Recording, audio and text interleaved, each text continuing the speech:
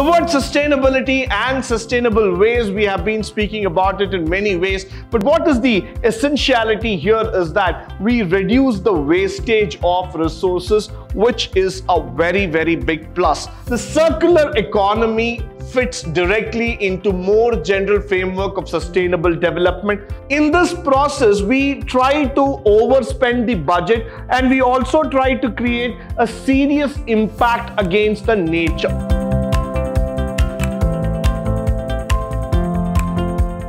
Good morning and welcome to the first session, Chapter 1, Unit 4, second semester BBA, Sustainable Development, where we are going to speak about circular economy. Now, the word circular economy itself has got a lot of significance. Probably what you might have learned in your basic economics is about the economy, which consists of a producer and a consumer, which keeps on going around in a circle. Now, we're not going to change that dimensions really, but what we are going to look in here is that exact meaning of circular economy. Now, this is an economy that refers to a model whose objective is to produce goods and services in a sustainable way by limiting the consumption and waste, I mean the raw materials and the resources altogether.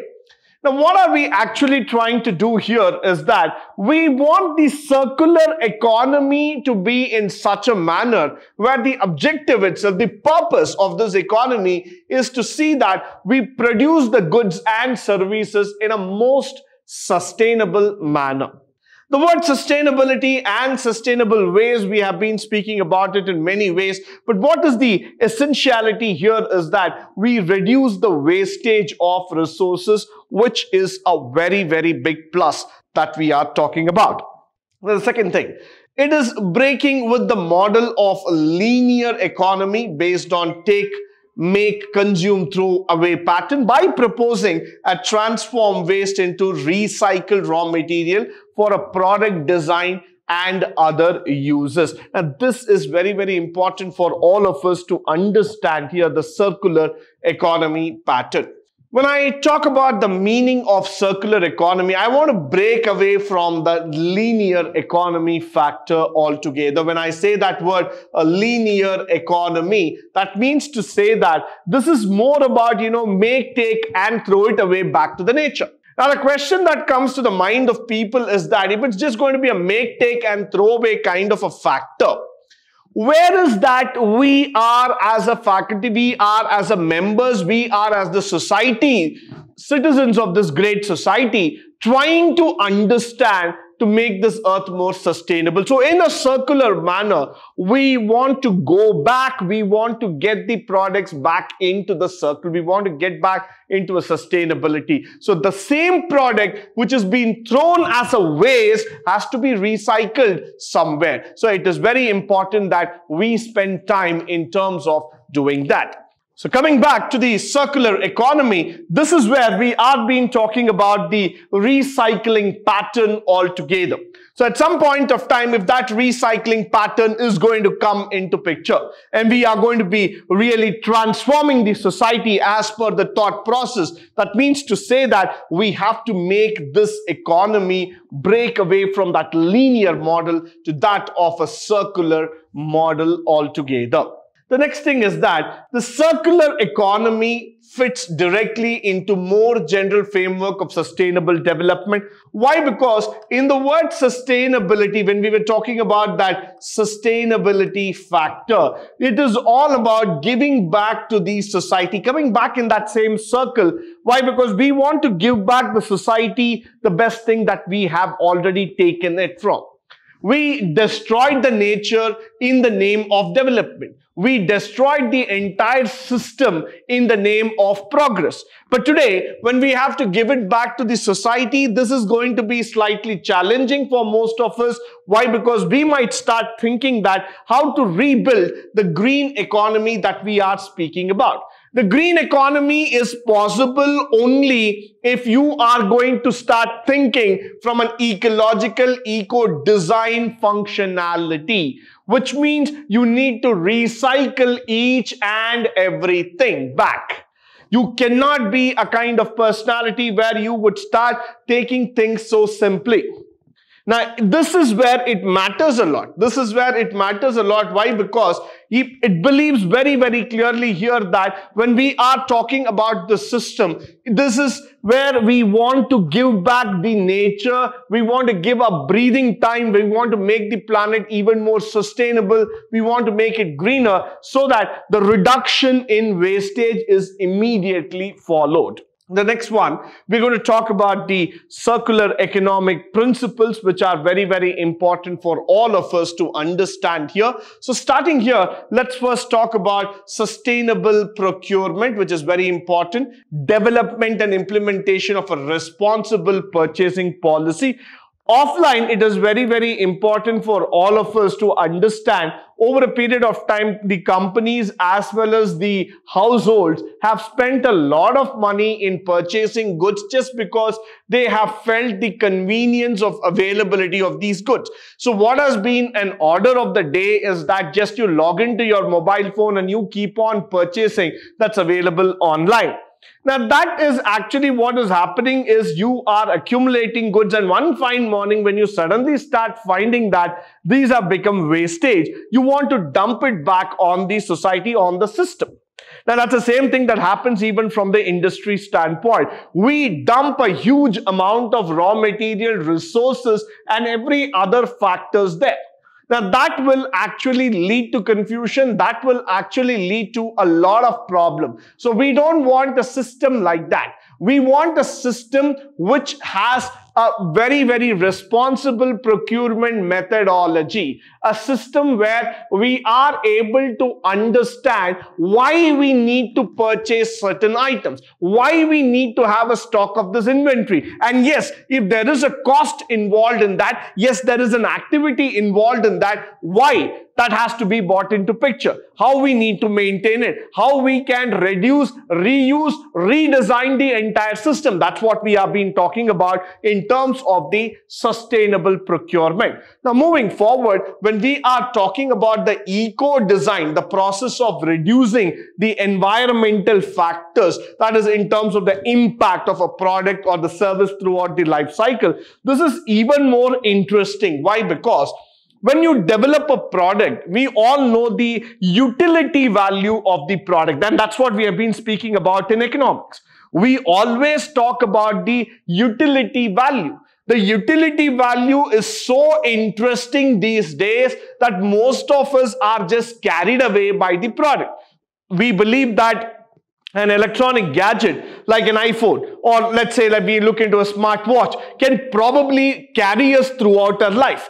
But off late, we started understanding that that's just merely an electronic gadget. That's just a machine that cannot become the part of life every day. So what we do is that we just throw that product back onto the nature. Now that has an environmental impact. That has an environmental hazard that has been created there.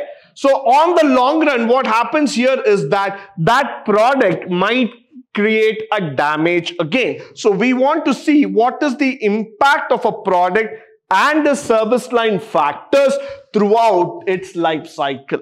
So in the long run, are we able to create a design which is ecological, which is friendly to the environment, which is basically a nature born environment altogether. So that's exactly what we are looking into. Now, redesigning doesn't mean that you are ecological friendly or, you know, you are just refurbishing the item doesn't mean that you become a green manufacturer. What exactly classifies you to be a nature friendly and eco-friendly personality is that you are able to recycle the product, reduce usage, reduce the wastage of inventory and make it as simple as possible. That exactly classifies you as a green manufacturer. Now, the next thing is that the industrial and the territorial ecology. Now, this is very, very important. Why? Because search for industrial ecology synergizes. The ecology actually comes at the scale of business area, which is very, very important. And the waste of one company can become the resource of another. What a wonderful statement that one has to understand, one has to go through completely here. Why I would say this is that, let's take for a while, the industrial waste of certain companies could definitely become a source of inventory for many other companies across this globe. But unfortunately, many people don't think in that way. They just think that that's only a waste resource that is being thrown out. So why should we really bother about it? Why should we spend time and money on that? Let us buy a fresh inventory. Let us buy a fresh resource altogether. In this process, we try to overspend the budget and we also try to create a serious impact against the nature. So what we are now trying to address is that we want to build a composite business area, a composite model altogether where we are able to see that moment that person, that industry is able to have a collectible inventory factor, collectible area where you can reduce the impact towards the environment and the functionality. Because once you start collaborating with the economy, once you start putting your hands together together in terms of understanding the economy from a micro level perspective, you will be able to understand and appreciate that it is the cooperative psychology, it is joining hands together which can create a better economy rather than individually claiming the top spot in a Fortune 500 magazine. So what I would like to say here is that when you are going to manufacture please collaborate with your partners. Please find out if there can be some suitable areas where you can join together and create a betterment for the society. Now, most of them feel that collaboration always leads to confusion. That is not true. Why? Because we have understood that these days the dependency on resources is very high. Now, probably a person who's manufacturing an electric vehicle is dependent on battery. The person who's manufacturing a battery is dependent on lithium or any other kind of chemical. The person who's dependent on manufacturing that chemical is again dependent on some mineral wealth altogether. So you can see that there's a whole lot of psychological chain that goes inside this. So unless and until we understand the chain, unless and until we understand the entire functionality as one complete setup, as one complete authentication altogether, we will not be able to deliver as promised. So that's why I would say that this is the best time that we collaborate, we join hands together and sell the services as far as possible. Now, the next thing that we are talking about is the responsible consumption. Now, this is very important. Rational consumption and choice of products according to the social and ecological needs. India has a very, very large consumer base. Nobody can deny it because you have a population of 130 crore plus.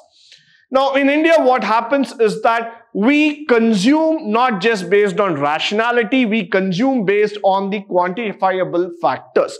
Now, there is a huge concept of joint family system in India, and it so happens that we always tend to overspend. We always tend to go above the budget, believing that we need more and more for tomorrow because we are more futuristic in nature. So we believe that the consumption also needs to be futuristic. So many a times what we do is that we spend a lot of money in buying goods again and again and make that market even more consumable in terms of consumer driven altogether.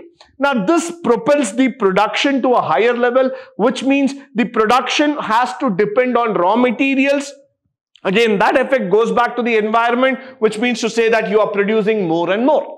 Now that will not be acceptable going forward. We want a system that is able to go on a rational basis. So that's why we want you to understand the social and ecological factors and then go in for the consumption. The next thing that we are talking about is extending the duration of use where I was talking about the repair, reuse and repurpose altogether, which is a very, very important functionality as we are talking about today. Why is that repair reuse is coming into picture? Probably down the lane, our generation has forgotten to understand, to accept and to believe the factor that yes, things can be repaired, it can be brought back to life and there is something which we can do in terms of reusing the entire concept.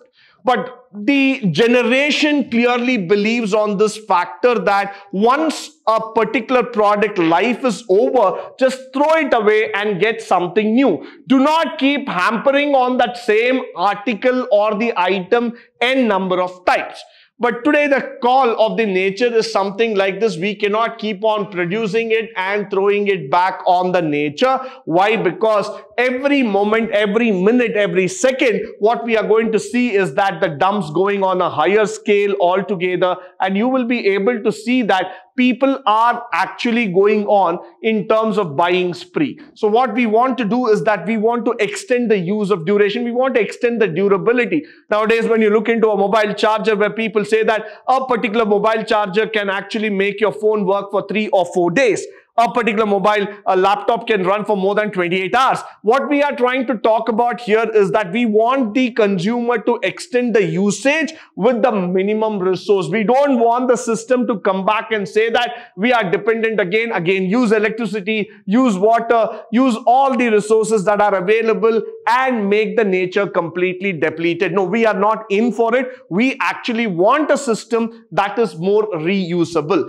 The next thing, recycling the treatment and recovery of materials that are contained and collected. You need to worry about it. Why? Because recycling is going to become the order of the day where people are going to talk about how to build a system that is more contained, how you can recycle the materials, how you can use it again and again, and how you can rather build a system which is even more convenient in nature. So at some point of time, I'm definitely going to be in for this particular activity where I'm going to definitely say that recycling is going to be the order of the day at, at the end of the entire scenario.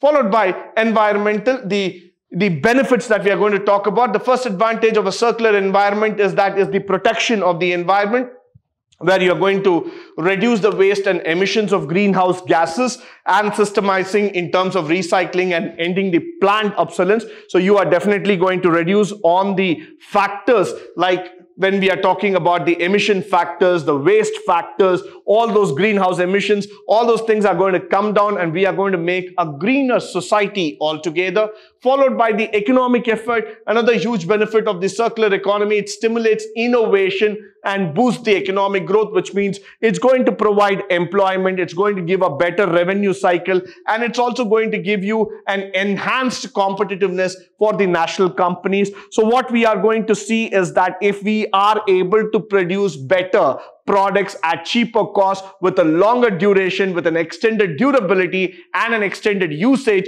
so that you are able to build a better nation in the long run followed by the social part of it. In addition to the circular economy creates jobs and enable people to save money, cutting on the unemployment poverty, which is the key area of the sustainable goal. Somewhere down the lane, we need to understand that we don't want the unemployment wave to again hit the earth. We don't want that poverty stricken areas to grow wide and vast. What we want is the depletion of poverty, depletion of unemployment, and we want to see a sustainable earth where everybody is able to make a potential earning out of his job. And the job should be in such a way that it is skill-based, it is able to give a long-run value add to what that person has been doing. So that's where I'm looking into it as an entire impactful source where I'm able to look the circular economy can create a very valuable impact in the long long run, taking care of pollution and climate change so that we can have a better sustainable future. With this, I come to the end of this presentation. I hope and believe that all the facts that have been presented through this presentation will be of great value add, both from a theory as well as from the practical stand. In the upcoming sessions, we are going to talk about the sustainable production and consumption with an aim towards the sustainable development goals. But until then, stay tuned, stay blessed, and stay enlightened forever. Thank you once again for joining me today on this wonderful session.